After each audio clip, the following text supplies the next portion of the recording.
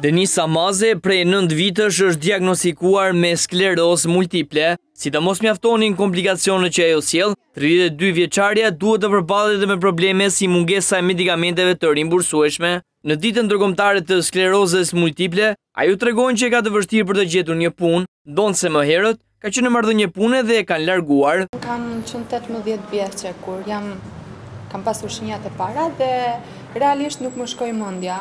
Nuk më shkoi mendja fare dhe as nuk e dija dhe nuk e njihja fare si sëmundje.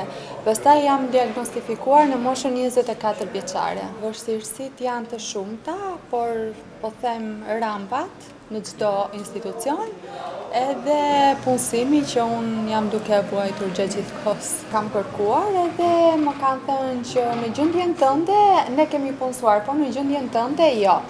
Dhe unë ndihem shumë keq.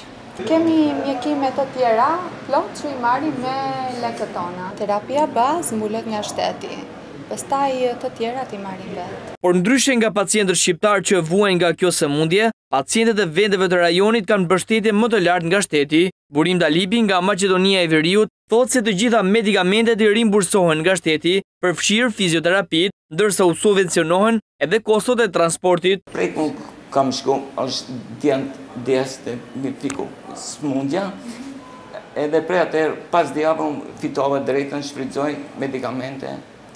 armëmi. Të, të gjitha, po, po, shteti, krejt shteti, po, po, rrugën e pagun, krejt çka duhet, spital, krejt, krejt, krejt shteti, udhëtimin, krejt. Themeluesi i Fondacionit Pema e Jetës, njëherësh pacient i diagnostikuar me sklerozë, tregon se duhet të rimbursohen fizioterapitë pasi janë të kushtueshme. Kostoja shpërndahet në kosto transporti, që një, një taksi sot, imagjinoni sa mund kushtojë nga Astiri për shembull, në tek Myslym Shyri, ta supozojnë se unë shkoj te Myslym Shyri për për fizioterapi, vajtje ardhje, plus kostoja e fizioterapisë, kështu që një seancë minimalisht shkon 30 deri në 35 mijë lekë të vjetra.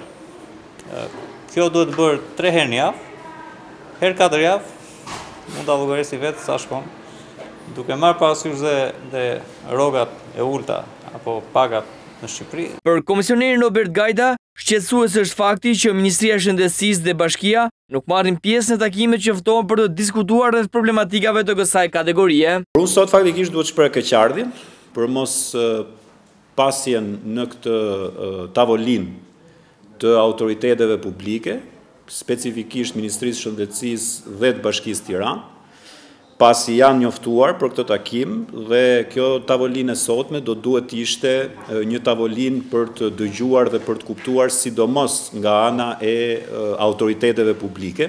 Sipas të dhënave nga përfaqësuesit e fondacionit në Shqipëri janë rreth një mijë e tetëqind e pesëdhjetë persona të diagnostikuar me sklerozën multiple.